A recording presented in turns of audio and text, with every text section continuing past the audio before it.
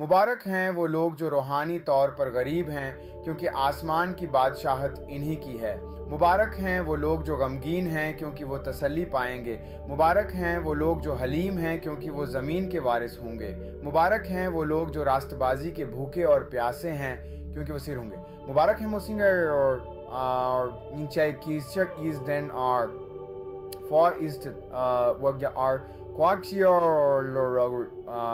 और जो जो रहम करने वाले हैं, क्योंकि उन पर रहम किया जाएगा। मुबारक हैं वो लोग जो पाक दिल हैं, क्योंकि वो खुदा को देखेंगे। मुबारक हैं वो लोग जो अमन कायम करने वाले हैं, क्योंकि वो खुदा के बेटे कहलाएँगे। मुबारक हैं वो लोग जो रास्तबाजी की खातिर सताए जाते हैं, क्योंकि आसमान की बादशाहत इन्हीं की है। मुबारक हो तुम जब लोग तुम्हें मेरी खातिर बुरा भला कहीं सताएँ और तुम्हारे खिलाफ हर तरह की झूठी बातें कहीं। खुश रहो और बहुत ज़्यादा खुशी मनाओ, क्योंकि आसमान में तुम्हारा इज्र अजीम है, क्योंकि उन्होंने तुमसे पहले नबियों को भी इसी तरह सताया था।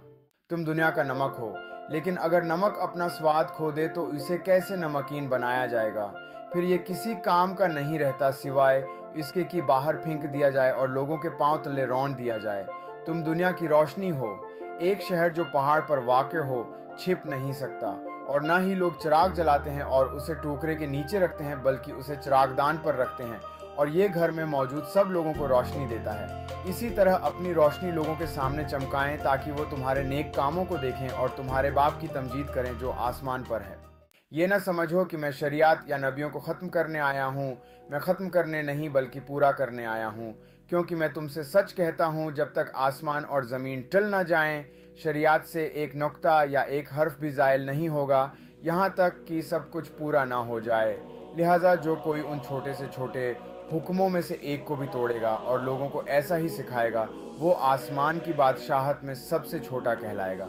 लेकिन जो कोई उन पर अमल करेगा और उनकी तालीम देगा, वो आसमान की बादशाहत में बड़ा कहलाएगा।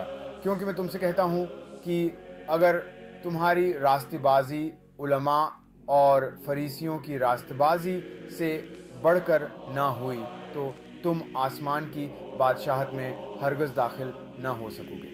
मती की अंजील, बाब पाँच, आयात तीन से ट्विस्ट कंग जेम्स वर्जन।